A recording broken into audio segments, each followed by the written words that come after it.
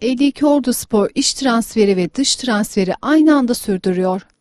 2022-2023 sezonunda iddialı bir kadro oluşturmak isteyen 52 Ordu Spor ilk imzayı iş transferde Sinan Morgil'e attırdı. Geçtiğimiz sezon takıma önemli katkı sağlayan Morgil, bu sezonda mor beyazlı formayı giyecek. Teknik direktör Hasan Erkin Şimşir'in verdiği liste üzerine çalışan 52 Ordu Spor Yönetim Kurulu kendilerinde belirlediği futbolcularla görüşmeler yapıyor. 15 Temmuz'da yeni sezona merhaba diyecek olan 52 Ordu Spor bu tarihe kadar iç ve dış transferin %90'ını bitirmeyi hedefliyor. Özellikle savunma ve hücum hattını yenileyecek olan mor beyazlı temsilcimiz transferde deneyimli isimleri kadrosuna katmayı hedefliyor. Öte yandan 52 Ordu Spor 29 Haziran'da yapacağı olağanüstü kongrenin de hazırlıklarını sürdürüyor.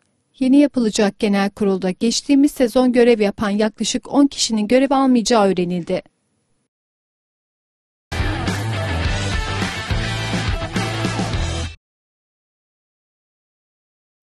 Ordu Spor 1967 iç ve dış transferi hız verdi. Yeni sezonda direkt şampiyonluğa oynayacak bir kadro oluşturmak isteyen Ordu Spor 1967 bu bağlamda çalışmalarını aralıksız sürdürüyor.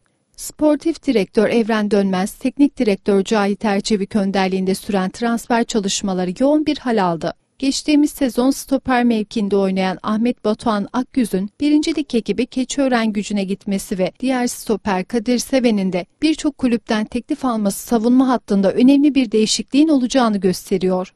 İş transferde yaklaşık 8 futbolcuyla anlaşmak isteyen Mor Beyazlar anlaşılan futbolcuların durumuna göre dış transfer çalışmaları yapacak.